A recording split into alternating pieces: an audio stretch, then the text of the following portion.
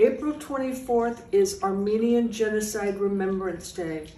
Watch the promise, share it with others, and keep the promise to never forget.